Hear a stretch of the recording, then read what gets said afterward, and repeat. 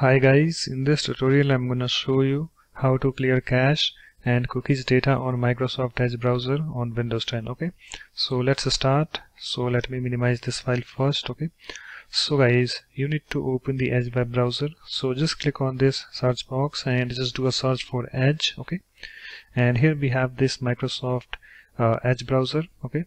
So just click on this to open it okay uh, you can see guys it's opened. And after that you have to click on this three dots at the top right. And then you have to click on this settings okay? And then you have to click on this privacy and security okay? And here we have this clear browsing data. Under this here we have this button. Choose what to clear. So you have to click on this okay? And here we have this little you know uh, window opened okay?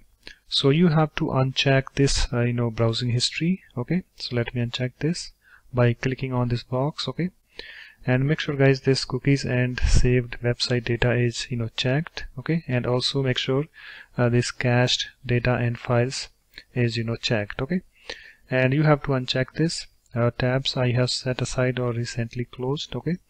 And also uncheck this download history uncheck this autofill data uncheck this password uncheck this media licenses okay? And uncheck this website permissions okay and make sure guys these options are checked okay? And after that guys you need to click on this clear button. So let me click on this clear button. So it's clearing okay? And you can see all clear okay? So guys we cleared you know cookies. That means we need to sign in again uh, to the online services that we are using okay? And also we cleared cache. That means uh, whenever you open websites it will take longer than usual because Microsoft Edge browser has to recache again okay and also guys I want to tell you one more thing. So here we have this option. Always clear this when I close the browser okay? So if you you know turn on this option the options that you have checked over here uh, they will be cleared okay? So if I uh, turn on this option so let me click on this. You can see it is on.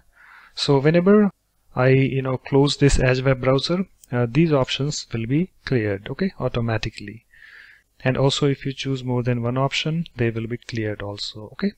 After that you can close this. So let me click on these three dots okay? So guys that's it. Uh, in this way you can easily clear cache and cookies data on Microsoft Edge browser on Windows 10 so thanks for watching. If you like my videos please support this channel by subscribing to it. Thanks. Bye bye